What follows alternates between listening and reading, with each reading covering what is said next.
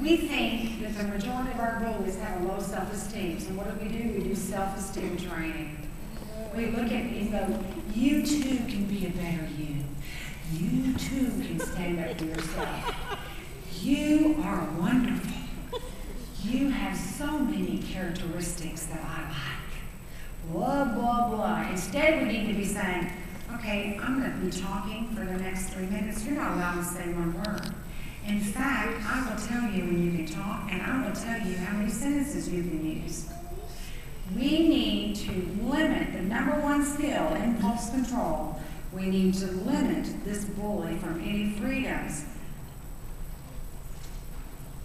Dan Olweus says the average bully, the typical bully, has an average or higher self-esteem than his or her peers.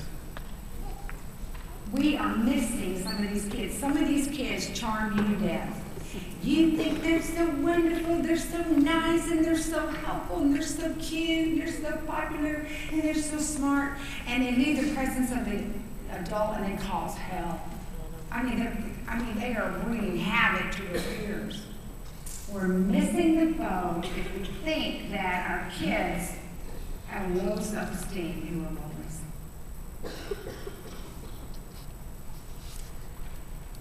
Most victims of bullying are targeted because of outward or physical characteristics such as obesity, having red hair, dressing differently than peers, true or false?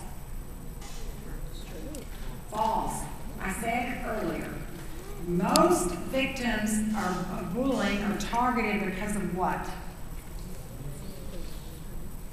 Very. They do not have a support system. They're your new kids. They're your kids that do not have a lot of friends. These are the kids that are being targeted. Okay, bullies pick on others at random, true or false? False. They're shopping for their victims. The last one, if a student is being bullied, parents should encourage children to log the bullying behavior. Parents, if you're here tonight and your child is being bullied, you need to sit down with them, whether they're elementary or a high school student, and help them log and keep a, what I call, build a case. When did it happen? Who was there? What happened? Bullying behaviors, if the true definition of bullying is that it's happening repeatedly, we need to be able to log a pattern of behavior. Okay, I want, you- I want you to see this video clip, and this is called Don't Laugh at Me. Love it. I show it to kids, I show it to staff, and I show it to parents.